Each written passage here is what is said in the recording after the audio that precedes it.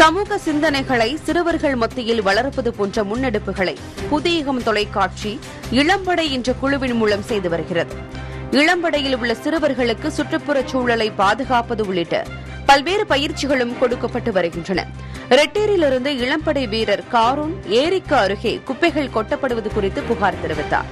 கழிவுகளை அந்தந்த பகுதிகளில் உள்ள குப்பை தொட்டிகளில் போட அறிவுறுத்தும் காரோன். ஏற்கனவே ஏரிக்கரையில் போடப்பட்டுள்ள குப்பைகளை அகற்றவும் குப்பை போடாமல் இருக்க எச்சரிக்கை பலகை வைக்கவும் வேண்டுகோள் விடுத்துள்ளார். இந்த முன்னாடி தாங்க நான் நின்றுட்டு இருக்கேன். இந்த ஏரிக்கு பக்கத்துல பல வாகனங்கள் வேகமாக கடந்து சென்று கொண்டிருக்கிறது. ஆனால் யாருமே தங்களுடைய வேலை காரணங்களால் இந்த அழகை ரசிக்காமல் போகிறாங்க இவங்க இதை ரசிக்கலைன்னா கூட பரவாயில்ல. இங்கே குப்பைகளை கொட்டிட்டு போயிடுறாங்க.